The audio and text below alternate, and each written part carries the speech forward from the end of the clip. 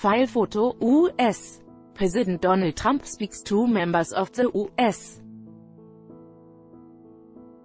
military after his summit meeting with North Korea's Kim Jong-un in Vietnam during a refueling stop at Elmendorf Air Force Base in Anchorage, Alaska, US, February 28, 2019.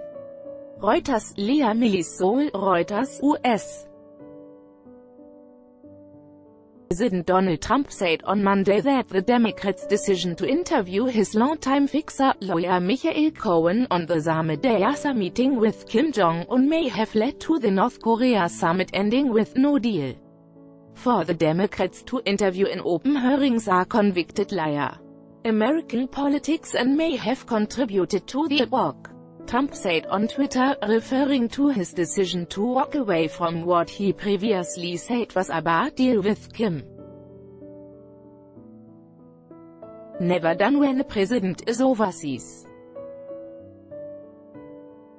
Shame. Last week in Hanoi Trump and Kim met for the second time to try to negotiate a deal that would surrender some of North Korea's nuclear weapons arsenal in return for sanctions relief.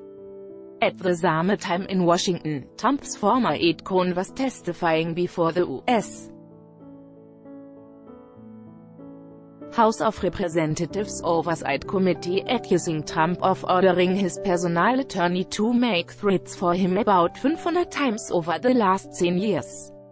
When asked about Cohen's testimony at a press conference on Thursday in Hanoi after Trump had abruptly decided to end the summit with Kim early, the president called the allegations incorrect and criticized the decision to have the hearing while he was away. I tried to watch as much as I could. Trump said. I wasn't able to watch too much because I've been a little bit busy, but I think having a fake hearing like that and having it in the middle of this very important summit is really a terrible thing. Reporting by Josh Smith, editing by Michael Peyer Standards. The Thomson Reuters Trust Principles